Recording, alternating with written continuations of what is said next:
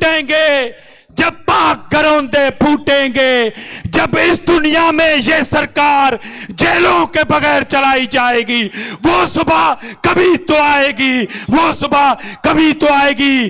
पाकिस्तान की सियासत के हुर मरते हुर, अठारहवीं तरमीम के बानी मोहतरम आसिफ अली जरदारी, भरपूर इस्तकबाल। से जंग चले चलो। चलो, हक की राह पर बढ़े चलो।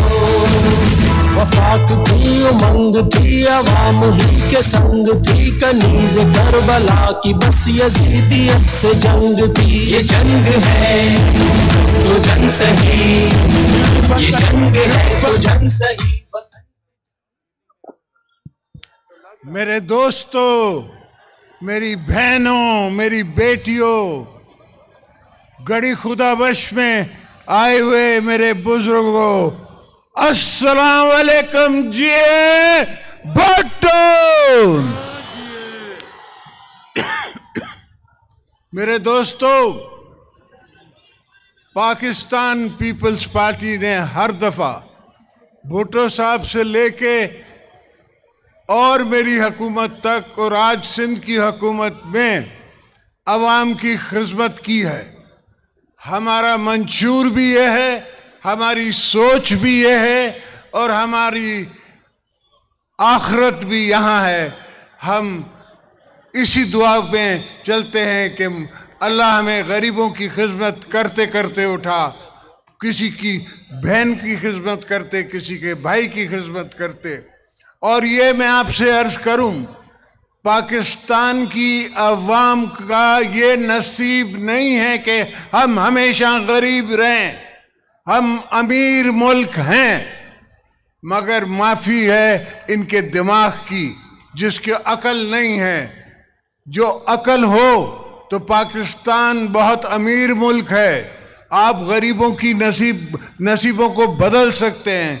आप एक्सपोर्टेबल आइटम्स इंसान ज़ात को बाहर भेज सकते हैं काम करने के लिए, जिस तरह भुट्टो साहब ने भेजा। मगर यहाँ वक्त की कमी रहती है, सोच की कमी रहती है। जो कहा जाता है, वो भी समझने के लिए तैयार नहीं है। सोचने के लिए तैयार नहीं है। मगर इन जिस तरह बिलावल ने कहा कि वो वक्त दूर नहीं, वो टाइम आने वाला है। कि जब आपकी हुकूमत दोबारा आएगी और इन आपके दिन भी बदलेंगे, आप गरीबों की तकदीर भी बदलेगी और ये सब बदलेगा बिलावल।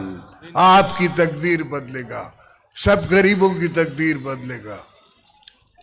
और मैं आप दोस्तों को यहाँ आने में आकर देख के नहायत मुझे खुशी होती है कि मैं अपने वर्करों में खड़ा हूँ, मैं गड़ी खुदा बख्श में खड़ा हूँ और जो वादा मैंने पहले दिन किया था बीबी साहिबा से, वो आस्ते आस्ते पूरा कर रहा हो। आप दुआ करें कि इन अल्लाह हमें मौका दे कि हम वो सब वायदे भुट्टो साहब के, बीबी साहब के पूरे कर सकें। आपके आने का बहुत शुक्रिया, बहुत नवाजिश। जिए भुट्टो!